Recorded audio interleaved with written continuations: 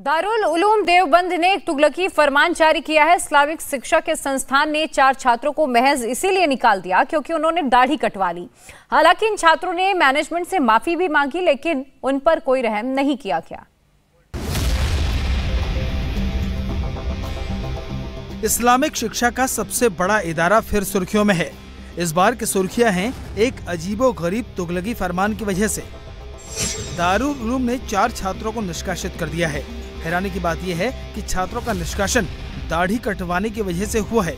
तो एक इदारा जो इस्लामी तालीमत के आम करने के लिए, इस्लामी तालीमत को फ़रोग देने के लिए बनाया गया हो, अगर वहाँ पर इस्लामी तालीमत नहीं दी जाएगी तो फिर कहाँ दी जाएगी? दूसरी बात यह है कि हर हर इंस्टीट्यूशन का, हर तालीमी इदारे का अपना, अपने कुछ असूल होते हैं, कुछ जबते होते हैं। और उनको यहाँ पर इख्तियार होता है कि वो अपने जबतों के अतबार से अपने स्टूडेंट्स को और अपने इदारे में पढ़ने वाले लोगों की तालीम और तरबियत का इंतज़ाम करें।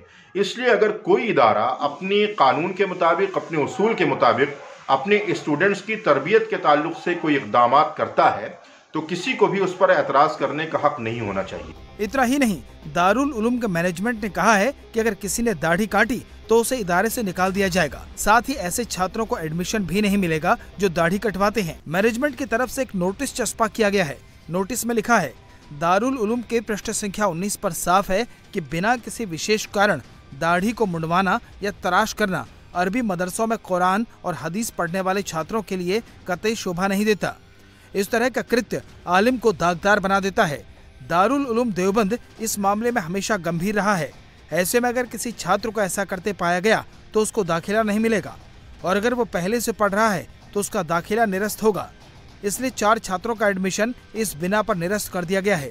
आरोपी छात्रों ने माफीनामा पेश किया, लेकिन उनके कृत्यों को देखते हुए उन्हें माफ़ नहीं किया गया। पैगंबर हज़रत मोहम्मद सल्लल्लाहु ने जिस तरह ज़िंदगी गुजारी है ऐसे ज़िंदगी गुजारना सुन्नत है। इसी तरह धाड़ी रखना भी सुन्नत है।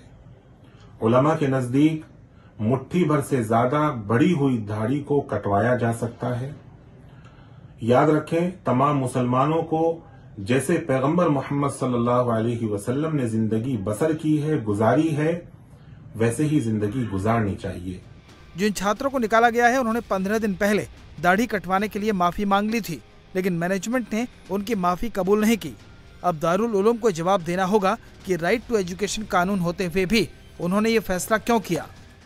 इंडिया टीवी हर वक्त, हर जगह। डाउनलोड करने के लिए सर्च करें India TV news Google Play Store या एप स्टोर पर।